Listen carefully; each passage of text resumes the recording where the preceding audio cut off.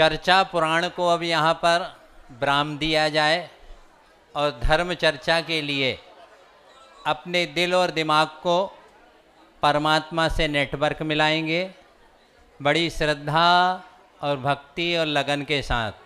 दोनों हाथ जोड़िएगा और दिल की तिजोड़ी में अपने परमात्मा को खोजिएगा।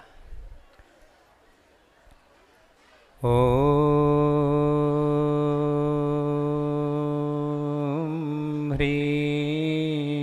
श्री कल्पतरु। शान्तिनाथाय नमः। ॐ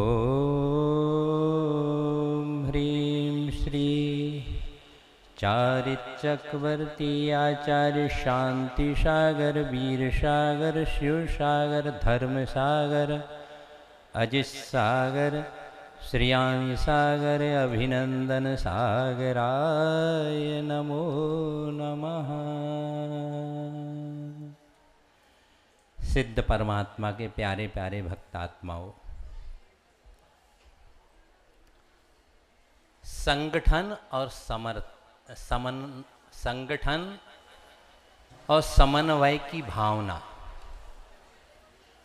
ये हमारे और आपके सभी के जीवन में मूल और चूल से परिवर्तन ला सकती है। चाहे ग्रस्त का जीवन हो या व्रक्त का जीवन हो। आज संगठन की आवश्यकता विनाश के लिए नहीं, विकास के लिए चाहिए। ग्रस्त जीवन में भी, पारिवारिक जीवन में भी समायोजन और संगठन चाहिए। वह पहले भावात्मक रूप से होना चाहिए। आप ज़रूर आज यहाँ दो बजे आए हैं। परंतु दो दिन पहले से आपके दिल ने ये फाइनल कर लिया था। दिल से दो माह, दो दिन पहले आप दो बजे यहाँ भरत भगवान के चरणों में आना है। ये पहले आप आ चुके थे। फ़िज़िकल रूप से आज आप यहाँ आए ऐसे ही मैं आपसे कहूँगा, अपने फैमिली मेंबर हो, चाहे आपका फेवरेट मैन हो। चाहे वह परमात्मा से रिलेशन हो, चाहे महात्मा से हो, चाहे पति से हो, चाहे पुत्र से हो। उसके जो रिलेशन बनाए, वह आप भावात्मक रूप से बनाइएगा। क्योंकि दुनिया में सबसे बड़ा रिलेशन होता है, सांसारिक दृष्टि से देखा जाए तो माँ और शिशु का होता है। वहाँ भाषा जो होती है, वह भावात्मक होती है। माँ की या पिता की, वह बातों को नहीं देखता है, वह व्यक्ति के ओरा जो भावना है। एल्सेसियन डाक जो होते हैं, वो किससे चोर को पकड़ते हैं? उसके भावना का ओरा होता है। तीर्थंकरों का समोशरण में भावना का, उनकी साधना का ही तो ओरा है कि शेर और गाय एक घाट पर बैठते हैं। तो आज यहाँ पर महिलाओं का, माताओं का ये जो समायोजन है, इस दुनिया में समर्पण और बलिदान यदि दुनिया में कोई करता है तो एक माँ का बलिदान, एक माँ का अपने पुत्र के लिए समर्पण जो होता है महानात्माओं ज्ञानारणों ग्रंथ है जिसमें शुभचंद आचार्य कहते हैं यह वसुंधरा इन शीलवती नारियों के शील से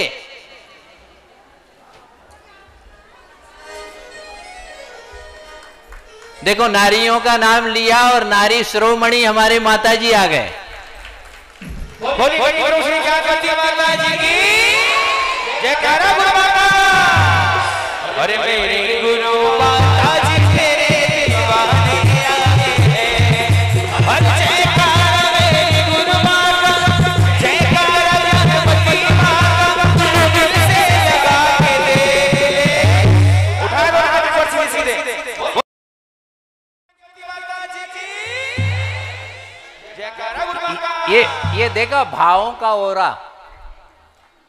बे भावों का हो रहा है कि माँ दौड़ी दौड़ी आ गई महानात्माओं, नारी के अनेक रूप हैं। मैं आज कहता हूँ, इस दुनिया में जो लगभग 1600 से अधिक जो साधु हैं, यदि वह साधु बने हैं तो विशेषकर उनकी माँ की प्रेरणा और संस्कार से ही बने हुए हैं। और जो विवाहित बने हुए हैं माता जी को भी घर, संग में भेजने के लिए इनकी माँ ने ही प्रेरणा की थी और माँ ने ही स्वीकृति का पत्र लिखा था, याद रखो। चाहे हमारे आचार्य भगवंत सुरसागर हो, चाहे भारत के जितने भी साधु हैं वह यदि आध्यात्मिक क्षेत्र में आए हैं तो माँ के संस्कार और प्रेरणा और भावना से ही आए हैं। क्योंकि नारी जो होती है, वह ममता और समता की एक मूर्त होती है। ज्ञानारणव की जो मैं बात कर रहा था, उसमें शुभचंद आचार्य कहते हैं, इस भूमि की शोभा शीलवती और धर्मात्मा नारियों से है। नारी की भूमिका विशेष रही है। नारी को पत्नी का एक एक धर्म पत्नी भी कहते हैं। कैसी धर्म पत्नी होना चाहिए? चेलना जैसी धर्म पत्नी का यदि रोल आज की नारियाँ रोल करने लगे तो अपने पति को धर्म में भी लगा दे देंगी। हम तो कहते हैं आज के बाद दिल्ली में हो या दुनिया के किसी भी महिलाओं के सम्मेलन हो तो अपनी पत्नियों को, अपने बेटों को, अपने बेटों को और अपने पति को साथ में लाना ही चाहिए। इससे आप लोगों का प्रेम बढ़ेगा, ये सामूहिक जो सम्मेलन हो रहा है, तीन दिन तक चलेगा। सामूहिक सम्मेलन होने से सद्भावना जागृत होती है। परस्पर में प्रेम और वात्सल्य की अभिवृद्धि हुआ करती है। तो पत्नियाँ कैसी होना चाहिए? चेलना जैसी हो कि अपने पति को भी मिथ्यात्व से निकाल करके सम्यक्त में लगा दें। नारी का महत्व बहुत है कि सहचारिणी भी कहा गया है।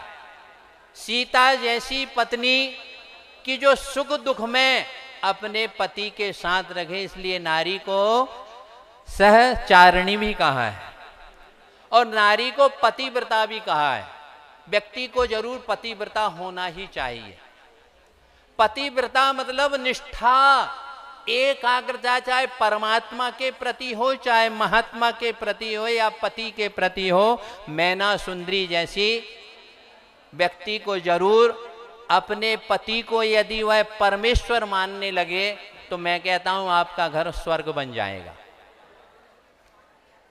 यदि घर को स्वर्ग बनाना हो तो दो काम ज़रूर करना चाहिए। महिलाओं को एक जिद करना छोड़ देना चाहिए। यदि महिलाएँ जिद करना छोड़ दें, क्योंकि प्रेमचंद मुंशी जो राइटर हुए हैं, उन्होंने बहुत अच्छी बात की। नारी यदि किसी से प्रेम करे तो अपना प्राण दे दे। और नारी यदि रूठ जाए तो प्राण। इसलिए महान आत्माओं, चतुर्थ काल में जैसे तीर्थंकर की जननी का महत्व था, क्योंकि तीर्थंकर की माता पिता पिता उसी भाव से या ज़्यादा से ज़्यादा तीन भाव में मोक्ष गानते हैं। ऐसे पंचम काल में अपेक्षाकृत इन मुनियों की और आरिकाओं की जो माँ है उन्होंने वह भी सम्माननीय और स्मरणीय है, क्योंकि उनके ही ऐसे पुत्र होते हैं।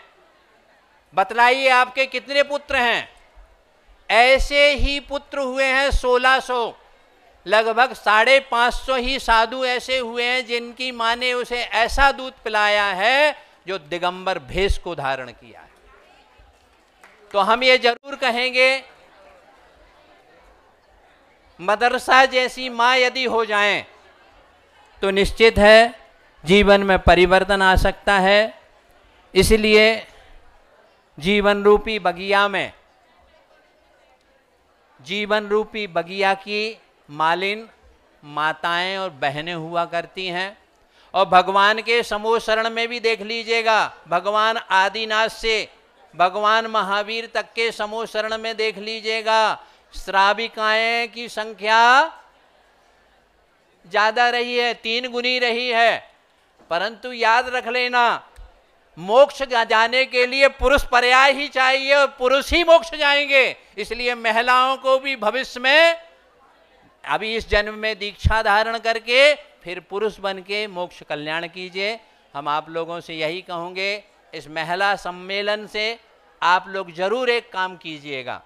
कि अपने परिवार में जैसा धन कमाने का मैनेजमेंट बनाते हैं, ऐसा धर्म कमाने के लिए, धर्म के लिए भी मैनेजमेंट बनाइए भारत की महिलाओं को और जैन महिलाओं को ये सौभाग्य मानना चाहिए, अवभाग्य मानना चाहिए, महाभाग्य मानना चाहिए कि आज भारत में 1600 साधुओं में सबसे ज़्यादा दीक्षित काल की और सबसे पुरानी शांति सागर को यदि किसी ने दर्शन किया है तो महिलाओं की श्रेष्ठ पर्यायारिका को धारण करने वाली ज्ञानमती माता जी हैं और उनके सानिध्य में आप लोग यहाँ पर आ रहे हैं। तो निश्चित आप लोगों के लिए महिला मंडल के संपूर्ण आपको सपरिवार हमारी बहुत बहुत मांगलिक भावना है, परंतु हमारा आशीर्वाद जो है, अभी ड्यू है। हमारा पूरा दिल से आशीर्वाद दिल्ली वालों को 20 तारीख को दो बजे दिए दूँगा। ये आपको मैं प्रामिस करता हूँ, सबको आशीर्वाद।